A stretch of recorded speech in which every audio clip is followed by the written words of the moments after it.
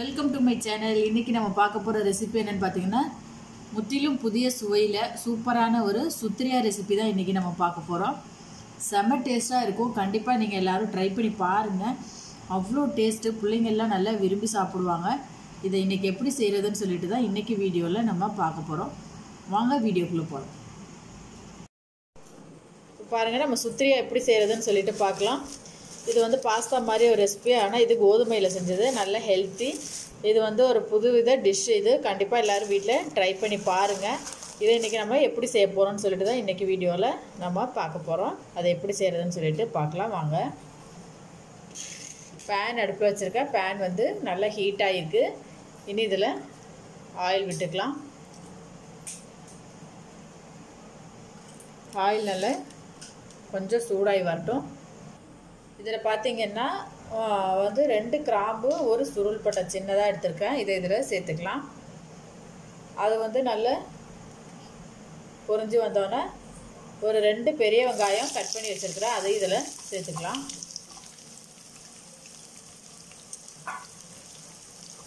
கொஞ்சமாக கருவேப்பிலை. வெங்காயம் கொஞ்சம் நல்லா வதங்கி வரட்டும். வெங்காயம் வந்து இந்த அளவு வதங்கி வந்தால் போதும். இனி வந்து நான் ரெண்டு தக்காளி எடுத்து வச்சுருக்கிறேன் அதை பொடியாக கட் பண்ணி வச்சுருக்கேன். அதையும் இதில் சேர்த்துக்கலாம். தக்காளி வந்து நல்லா வதங்கி வரணும். பேஸ்ட் மாதிரி நல்லா குழஞ்சி நல்லா வதங்கி வரணும். இப்போது இதுக்கு தேவையான அளவு கொஞ்சமாக நம்ம உப்பு சேர்த்துக்கலாம்.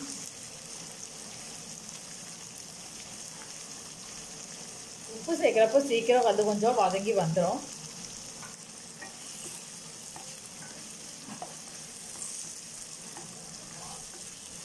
இதை மூடி வச்சிடலாம். மூடி வச்சா இன்னும் கொஞ்சம் சீக்கிரம் வெந்து வந்துடும்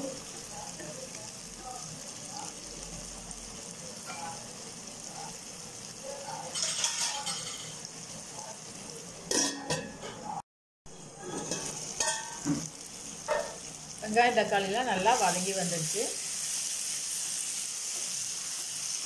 இனி இதில் கொஞ்சமாக இஞ்சி பூண்டு பேஸ்ட்டு சேர்த்துக்கலாம்.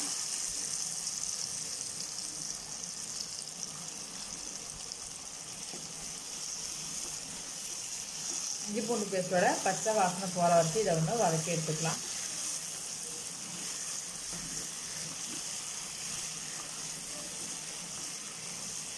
இனி நம்ம இதில் மசாலா தூள் சேர்த்துக்கலாம். இதில் கொஞ்சமாக கறி மசாலா தூள் போட்டிருக்கிறேன். நல்ல ஃப்ளேவராக நல்லா இருக்கும். அதனால தான் அது போட்டிருக்கிறேன். அதுக்கப்புறம் பார்த்தீங்கன்னா இதில் ஒரு ஸ்பூன் அளவு மிளகாய் தூள் அதே ஒரு ஸ்பூனில் மல்லித்தூள் அதுக்கப்புறம் பார்த்தீங்கன்னா சின்ன ஸ்பூனில் ஒரு கால் டீஸ்பூன் அளவு மஞ்சள் தூள். மஞ்சள் போட்டிருக்கேன். இது எல்லாத்தையும் இனி வதக்கிக்கலாம்.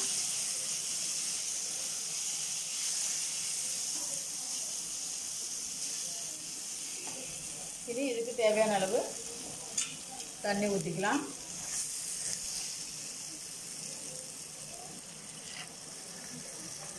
தண்ணி நல்லா கொதித்து வரணும். இது வந்து தண்ணி நல்லா இழுக்கும். அதுக்கப்புறம் பார்த்தீங்கன்னா இது வந்து கொஞ்சம் வந்து தண்ணியாக வச்சு நல்லா சூப் லைட்டாக கொஞ்சம் சூப்பு மாடலில் வச்சு சாப்பிட்றது தான் டேஸ்ட்டாக இருக்கும்.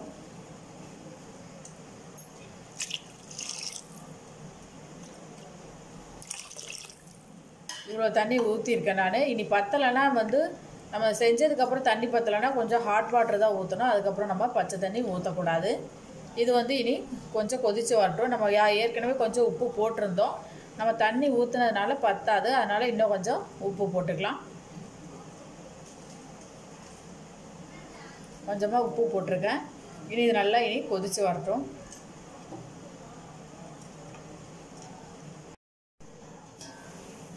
தண்ணி நல்லா கொதிச்சிருச்சு. இனி நம்ம சுத்திரியாவை சுத்திரியாவை இதில் இனி போட்டுக்கலாம்.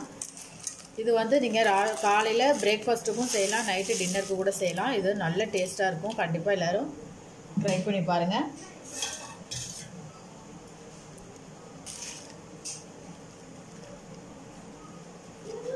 இது நல்லா வெந்து வரணும்.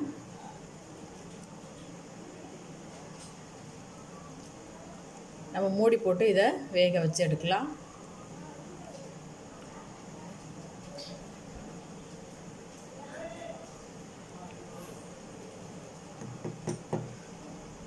இது கொஞ்ச நேரம் வெந்து வரட்டும். பாருங்கள் நம்மளோட சுத்தரை சூப்பராக ரெடி ஆயிடுச்சு இந்த மாதிரி ஸ்டேஜில் தான் இருக்கணும். நம்ம இனி ஸ்டவ்வை ஆஃப் பண்ணிடலாம்.